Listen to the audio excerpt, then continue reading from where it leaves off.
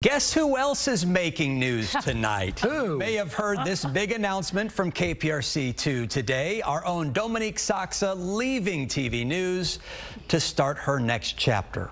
Let's bring in Frank, of course, for this big conversation. Dominique, first of all, we're happy for you. Oh, thank we are you. sad for ourselves, but 28 years in front of the TV screen. That's a long time. That's a long time. you, you grew up here. You are loved by Houstonians. Well, I, I, and I love Houston. Houston is my home, mm-hmm. and I love you all. You're my family. Oh my gosh, that old promo.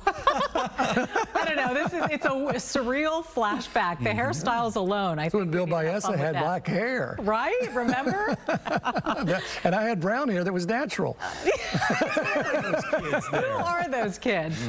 I don't know, but it's it's really been an amazing run. When you say 28 years, it doesn't feel like 28 years. Right. It seems like I I started here 10 years ago. So, I don't know. I mean, it's it's y'all are family, and and Houston is family, and I feel so. I've said this before. I feel mm-hmm. so blessed to have been welcomed into people's homes for as long as I have. Sure. That's that's the gift right there. Is that connection to the viewer? That's what keeps us going. Well, you have that connection because you are authentic and you are Houston. We're not using the word retirement, right? Right. We want No. to say next chapter. What is Yes. that next chapter for you? Well, that's a, a good word to use because I've actually written a book. It's called Life Makeover Embrace the Bold, Beautiful, and Blessed You. And it's really a powerful call to women to embrace their outward beauty as the first step in living with internal boldness, mm. confidence, and joy. So it takes a lot of what I talk about on my YouTube channel, and it's a deeper dive into all of that. And I, I use a lot of personal stories, anecdotes,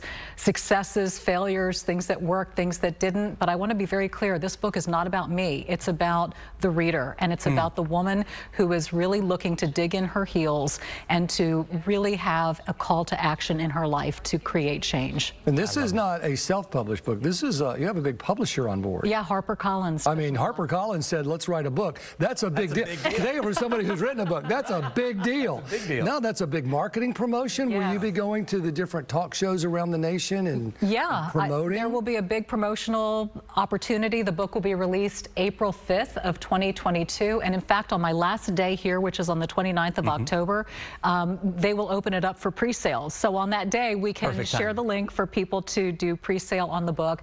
But yes, I will be doing the promotional tour, and I'll tell you what, ever since COVID and Zoom became popular, you can now hit a lot of markets and share and talk about Mm-hmm. things through Zoom without actually physically having to go somewhere. So it'll probably be a hybrid of both. But that's the word that people I, I haven't heard about you is people don't realize how flexible you are, and I think that's part of your success. Not just yoga, but, but I know. Well, she's literally flexible. Thank you. Yeah. Literally flexible. But you know, I mean, I mean, you can turn w- Yes. pivot uh, because we do a lot of long live shows Yes. when there's severe weather or breaking news, Yeah. and you have to be able to turn on a dime in this business, and you do it so well. Well, thank you. That's a, a part of what I've loved about the business is the diversity in terms of what you get to do as a broadcaster here. Mm-hmm. It's a it's a little bit of everything, and I've loved everything, and, It's I, a and I love you all. It's a gift. Well, we love you too. We're Thank you. grateful for you. Thank you. And you're not going anywhere. 21 more days to work. I looked on my calendar.